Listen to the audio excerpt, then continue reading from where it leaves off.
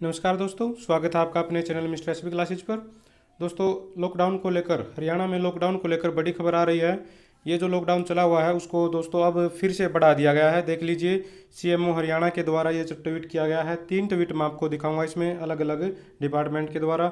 यहाँ पर देखेंगे, ये अभी बिल्कुल दस मिनट पहले ही मुख्यमंत्री श्री मनोहर लाल खट्टर ने प्रदेश में चल रहे महामारी अलर्ट सुरक्षित हरियाणा के तहत कोविड 19 के प्रसार को रोकने के लिए लगाई गई पाबंदियों को 24 मई 2021 तक बढ़ाने की घोषणा की गई है। ये ट्वीट किया गया अभी अभी बिल्कुल 10 मिनट पहले, दोस्तों। तो ये बड़ी खबर आ रही है। यहाँ पर ये देख सकते हैं, अनिल विज जी द्वारा भी ये चीज़ यहाँ पर ट्वीट की गई है, दोस्तों। ठीक है? सत्रह मई से चौबीस मई तक दोबारा से जो पाबंदियाँ थी, बिल्कुल ऐसे कैसे उनको बढ़ा दिया गया है, दोस्तों। और यहाँ पर भी आप देख सकते हो, डीपीआर हरियाणा के द्वारा इसी चीज़ को रिट्वीट किया गया दोस्तों। तो बड़ी खबर आप लोगों के लिए, हरियाणा में एक बार फिर से लॉकडाउन को बढ़ा दिया गया है दोस्तों।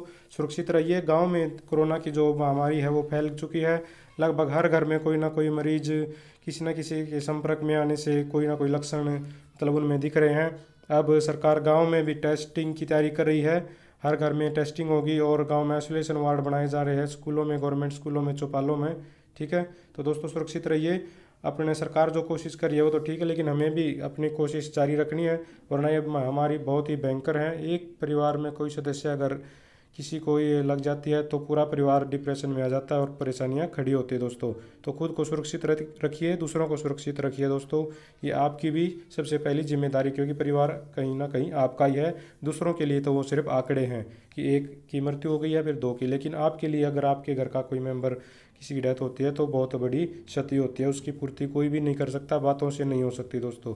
तो अपने आप को सुरक्षित रखिए, इस महामारी से बचाइए दोस्तों। तो एक सप्ताह का लॉकडाउन और बढ़ गया है तो कड़ाई से दोस्तों इसका पालन कीजिए, भीड़ में जाने से बचिए, अपना जो भी प्रिकॉशन जो होती हैं, सावधानियाँ होती हैं, उन सबको बरतिए दोस्तों। तो ये बड़ी खबर आप लोगों के लिए थी।